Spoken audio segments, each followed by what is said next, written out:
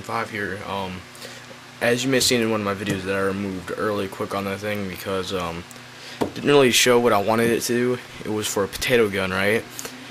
And we still have that same potato gun. And um, right here I've got a sparker that I've made recently. It's uh, this is you know to I'm making this video to help you guys learn how to make one for potato gun. It's quick, cheap, easy, and fun to make. You know. Um, all you need is like all you'll need is one standard grill lighter. Five dollars ten dollars most. The standard grill lighter electric. See it'll come with a black wire and a red wire. You don't need the red wire but it's very handy to have around.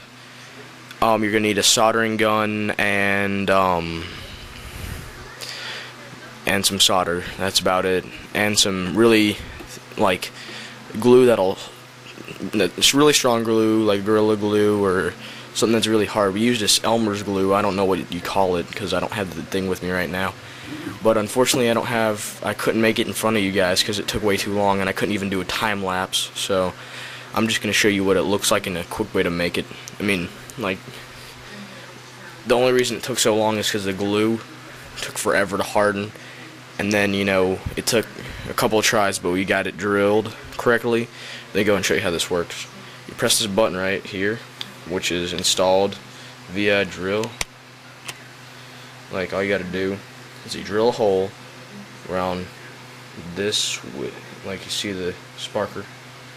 Drill about that width of the sparker, and then drill two little um, linking holes, as I'm gonna call them, because there'll be two pieces that you squeeze together that just interlock with the inside. So you just kind of fit it through that hole. See if I can like see right there and right there. We put those in there. Then you have the wire which you strip. You need to strip it about um not you don't need it short but you don't need it long. Kind of I mean it's a pretty long piece of uh, wire. So I'd suggest you know like a fifth of it in size. You strip it from there and leave a large amount of uh, wire left open like about that amount. Then you take some solder to the wire and you solder around the wire so it creates a nice like thick bar instead of frayed wires because after a bunch of while of sparking and explosions in the inside it's going to wear the wires they're going to twist and bundle and I'm not saying this is hard to change but you know it's just going to last you longer. And um, by the way this these metal parts will corrode inside of it so make sure to clean them regularly. But um like this piece which the spark comes out of and then this piece down here which is metal that's gonna corrode. As a matter of fact I think this is already starting to corrode just a tad bit yeah it's got a little bit of corrosion on it right now but um axe is not the cleanest burning fuel in the world. leaves a bad stank to it, so I suggest, um, you know, you can use Axe, whatever you want, but hairspray and Axe work pretty good.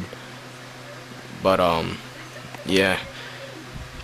So just glue it in there after you drill a hole, and, uh, as you can see, it's very, uh, hard to, you can't even move it, actually. I mean, you could probably throw it on the floor or something like that and it wouldn't do anything.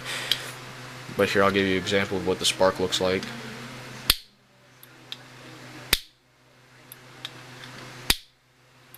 Which is definitely enough to light a fire, no doubt.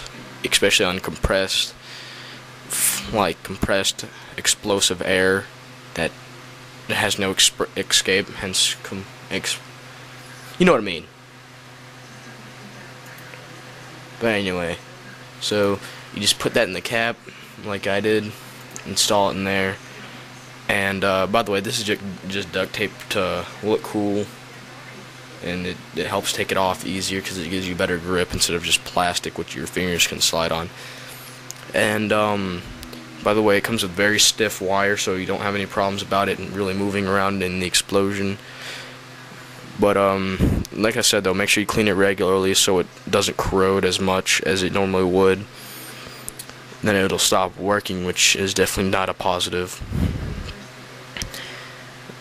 And uh, I think these things can run out of electricity in them. I'm not quite sure. So you may have to change them every, I don't know, every year, which isn't too bad. You just take a hammer, and knock that part out right there, knock it to the back, and then reglue it in another one. Um, and there you go, I guess. If not, you know, it's just much easier probably if you buy another cap and then buy another lighter to be anyway, because you know that way you don't have to worry about all the collateral damage, as I'm gonna call it. Anyway, so that's how you make a spark or for a potato gun. Cheap, easy, lightweight, doesn't take up a lot of room, and you can just install it on the back where you just hit the button, or where you can um, like just you know, it even looks cool too. You can put it on the side. You can put whatever you want, designing on how your potato gun. Later this week, I will be showing you my potato gun itself, and then I'll be showing you it firing, hopefully at my friend Josh's house, where back in the woods there's this old car that's been burnt up and crap like that. We're to shoot that.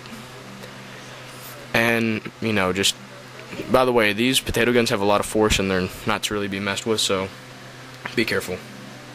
Stay safe and have a good time shooting taters.